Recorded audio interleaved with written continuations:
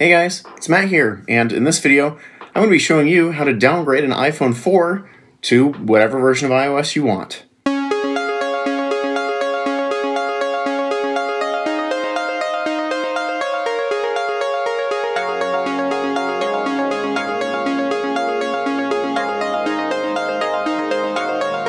So firstly, you're going to need a GSM iPhone 4. Now, if you have a CDMA one like this, you're out of luck, and you can tell because it uses the newer style antenna bands here that the 4S uses, and it does not have a SIM card slot. So if you have one of these ones, you're out of luck, I'm sorry. These things are basically stuck to running iOS 7 unless they're running something older already, which then don't update. However, the GSM iPhone 4s like this one can be downgraded to any version of iOS 7, any version of iOS 6, iOS 5.1.1, and iOS 4.3.5. Another requirement is that you're going to need a Mac that can run an older version of Mac OS. Unfortunately, newer Mac OS, I've tried it, it does not work with this software, and I've had the best of luck running Mac OS 10.10 Yosemite to make this work. So you can see here, I'm on my Mac's desktop here, and sorry about the low frame rate, that's just this Mac not being very powerful. But yeah, this is the perfect machine for this downgrade thing that we're going to be doing here. So first of all, you're going to need your iPhone 4 and you're going to need your charger. Now, ultimately, one thing you're also going to need, and something I actually forgot to download, but that's fine, I can grab it real quick, is the IPSW file. Now, what I do is I go to ipsw.me and you can just grab your files that way. So if I want to go, let's just scroll through here and find the iPhone 4. So right here, iPhone 4 GSM. If you have a CDMA iPhone 4, uh, this is not going to work. So you're going to need a GSM iPhone 4. Ignore the fact that these are unsigned. It doesn't matter that they're unsigned. So you're going to need to grab the IPSW for iOS 4 the last one if you're going to be doing this, or you pick the one that you want. If you're going to be going with iOS 5, pick this one right here. This IPSW does not work. You're going to need the one with that ends in 06, not 08. I don't know what the difference is, to be honest, but it doesn't like this one, so go with this one. And while this is chugging along, let's go ahead and put this phone into DFU mode and get it plugged in.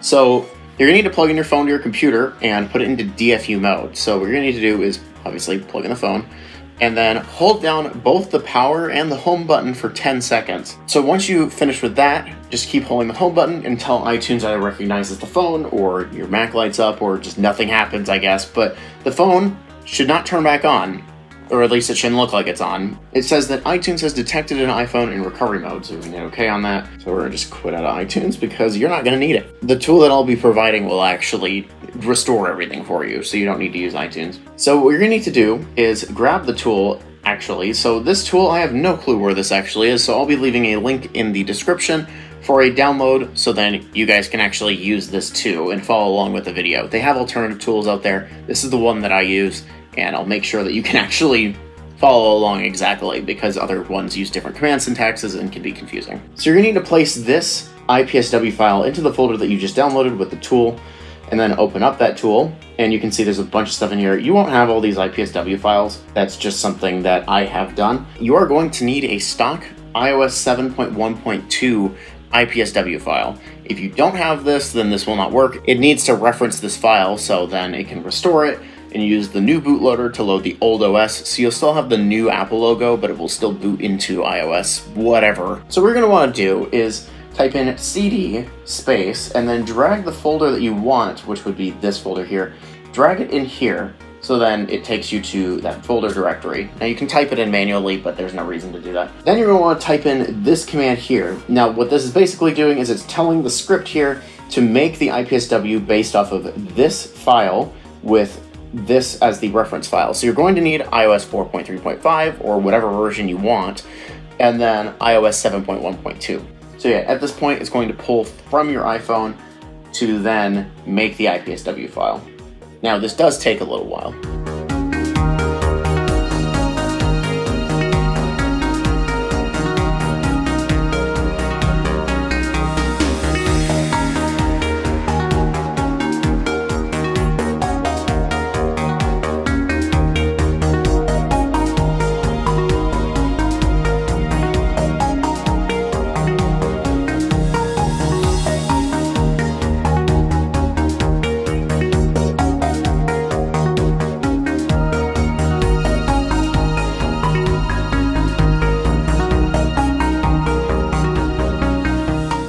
That only took forever, but it's done now. So if we go back into here, yep, we have a custom IPSW file for our iPhone 4.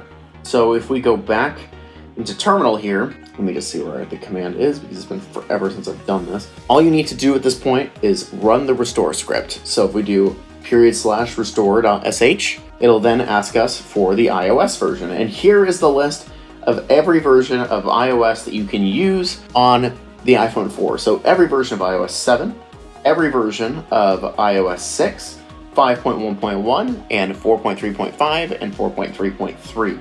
Now, I have picked 435, so I'm going to select 2 and hit enter. And what it's going to do is it's going to put the iPhone 4 into Pwn DFU mode, which is going to get, I don't know why it says no Apple device in DFU mode. All right, let's try that again.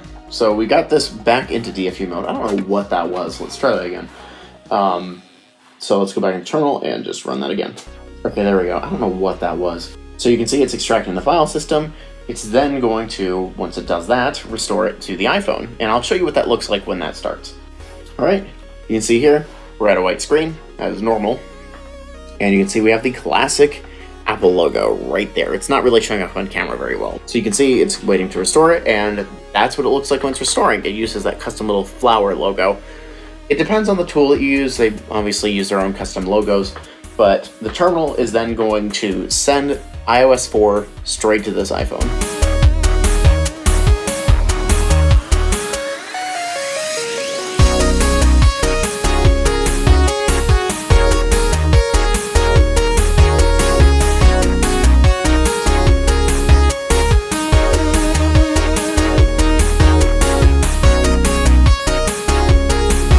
That is it.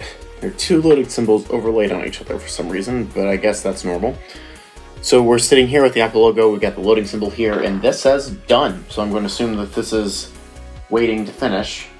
I will force restart this thing if it does not. That's something I've noticed with these kinds of procedures is that stuff that seems like it would break something actually doesn't. When I first restored iOS 5 to this phone, and actually there it goes, when I first restored iOS 5 to this phone, it actually took me to a recovery screen, but all I did was restart the phone and it fixed it.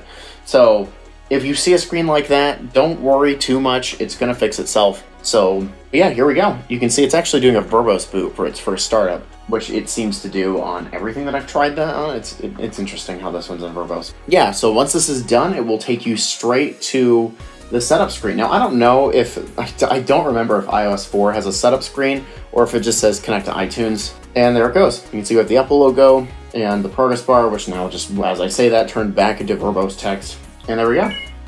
We are in. And yeah, it looks like it wants me to hook this thing up to iTunes, so that's what we will do to get this thing activated. And it needs a SIM card, so I'll do that too. So, let's get the SIM card in. I know it's gonna want one, so I'll just do it right now. Yeah, please, yeah, my computer is now saying there's no SIM card. And there we go. And there we are with iOS 4 installed on this iPhone 4. So let's get the SIM card ejected real quick. Here we go. Since I don't need that. So yeah, that's how you downgrade your iPhone 4 to any iOS version that you want. As always, leave any comments below if you have any trouble. I'll do my best to see if I can get back to them and see if I can help you out. And hopefully, You'll learn something today, and even if you're not going to be doing this with your iPhone, hopefully it's at least interesting to you.